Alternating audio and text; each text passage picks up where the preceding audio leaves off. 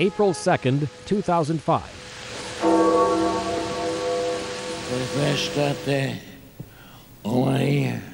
Pope John Paul II dies at his apartment in the Vatican at age 84. He led the Roman Catholic Church for 26 years and helped topple communism in Eastern Europe.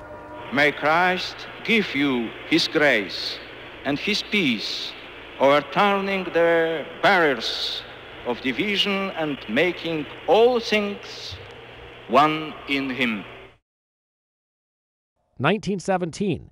In Washington, President Woodrow Wilson asks Congress to declare war on Germany. Wilson says the world must be made safe for democracy. The U.S. enters World War I days later. 1513. Spanish explorer Juan Ponce de Leon lands in Florida during his search for the mythical Fountain of Youth. 1982. In the South Atlantic, troops from Argentina seized the disputed Falkland Islands from Britain.